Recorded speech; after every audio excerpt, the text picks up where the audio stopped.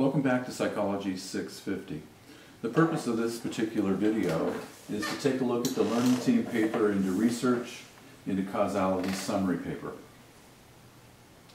For this particular uh, video, we're going to take a look at the assignment process, where to post your paper, the objectives of the paper, and I'm going to provide you an example of how this paper should look utilizing APA format. And we'll summarize with critical points. So this assignment requires that you prepare a 150 to 200 word summary of the disorder that your learning team chooses for the symptoms and causes assignment. Make sure you read the symptoms and causes assignments uh, description in the syllabus and then post through the assignment link. The objectives of this paper are as follows. First objective is indicate the video that your team will use from the following Films on Demand database in the University of Library. Okay, there's the URL for where to go to find the list of films. The suggested level one heading for this particular objective is selected video for this assignment. Bold, upper and lowercase letters without a period. And please make sure that you include an APA formatted in-text reference.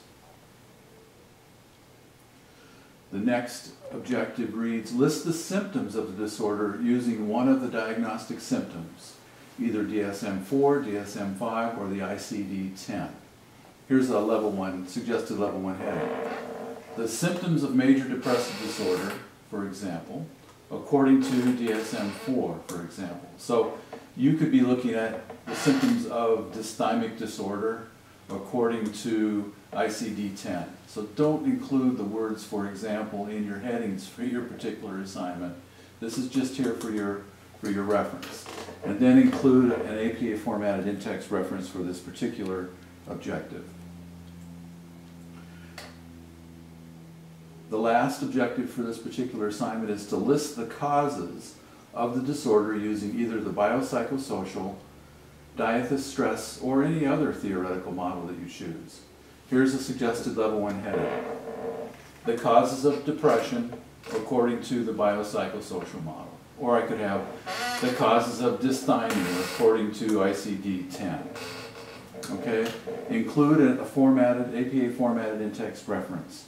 So this, this assignment might be a little bit different for you. It's, it's a short assignment, it's limited in, perspective, it's in preparation for a major learning team paper. So what I want to do is I want to provide you the way that this would look if it were being presented for this class. So you'll notice at the top we have the, the heading, Learning Team Research and the Causality Summary. Bolded, upper and lowercase letters, no period. And then list the names of the, of the learning team members. Simply list them. Okay? Then the next heading is selected video for this assignment. This learning team selected the video titled The Adult Brain to Think by Feeling, and it's done by Films Media Group, and the year was 2001. Okay, this just happens to be one of the very uh, various uh, films that are available. I just use it as an example. So I got this from Films on Demand database in the University Library for this assignment. That's all that would go under there. I'm just telling you what video that I selected and I'm using an appropriately documented APA reference. The next bullet, or, or heading rather, would be the symptoms of major depressive disorder according to DSM-4-TR. And again, it could be, I'm looking at the symptoms of dysthymia, and I'm using DSM-5. So again, this is an example based on your options for this particular objective. So here's how it would read. According to the fourth edition, treatment revision of the Diagnostic and Statistical Manual of Mental Disorders by the American Psychological Association in the year 2000, the symptoms of major depressive disorder involve at least five of the following over the course of the next two weeks. And here, uh, all I'm doing is listing bullet points as they are listed in DSM-4 treatment revision of the symptoms for major depressive disorder. You'll notice that I've started off with quotation marks. That's telling you that I'm using this verbatim from the manual. I get down to the next slide and I continue with the symptoms as listed in the manual and I conclude with an end quotation. Okay? The next particular heading is the causes of depression according to the biopsychosocial model. Okay, here I have according to Maid, Staats Reiss, and Dombeck in 2007, the biopsychosocial causes of depression involve the interaction of the following. And again, I'm just going to simply list them. Biological determinants, psychological, and social determinants. You notice that I have not used quotation marks because I've paraphrased this material. In other words, I put it into my own words. So I don't have to use quotation marks if I put it in my own words. I just have to make sure that I have a reference. Which gets us to the references page. You have to have a references page for this assignment. And so at the top of, of a new page, you write references. This is not bolded, but it is centered on the page. Two spaces down. My first citation was from the American Psychiatric Association. Okay, you'll notice that these are in alphabetical order.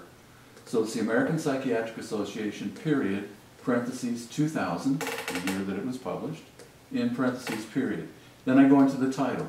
Desk reference to the diagnostic criteria from DSM-4-TR. You'll notice this is italicized. And it's all lowercase except for the first letter of the first word. And DSM-4-TR is also capitalized. The other thing to realize is that after the first line, every subsequent line is indented five to seven spaces. All right, so the next particular uh, APA reference is to the Films Media Group, period, in the year 2001, and then the title, The Adult Brain, colon, To Think by Feeling. Okay, this title is italicized. The first letter of the first word is capitalized, as well as the first word of the first letter of the first word after uh, a colon. Okay? And then retrieve from it and simply list out the complete URL. Make sure you list the total URL. I'm going to click on this and I'm going to see if I can go to it. The same thing that anybody reading your paper would do if they wanted additional information. The last reference is DeMade, comma, R period, comma, Staats Reiss, comma, n, period, comma, and then the ampersand, not the word and, but an ampersand, Dombeck, comma, M period. You'll also notice that there's no PhD, MD, any specific title that's referenced in here. It's just last name and then initials.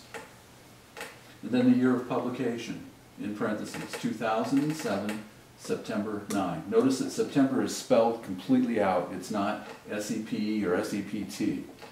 Okay? Then we go into the title, which is italicized with the first letter of the first word capitalized. Current understandings of major depression, colon, capitalized immediately right after that the first word, biopsychosocial model, and then retrieved from. As simple as that. And that's the way a references page would look. Again, if you have questions about APA format, there's a specific APA support thread in the main forum. Please ask your questions. You can give me an example of what you believe a reference would look like, and I'll show you whether or not it's correct. I'll correct it for you, and I'll give you some hints on, on how to uh, complete that particular reference. Then lastly, critical points, just like with any other paper or presentation. Make sure you address each objective, use headings, use APA format to denote in-text citations and into-work references. And please watch your spelling, grammar, and punctuation. So then, for this assignment, we've looked at the process for completing the assignment, where to post it. We looked at some of the objectives and critical points. The next video covers the diathesis stress model on anxiety and panic. Thank you.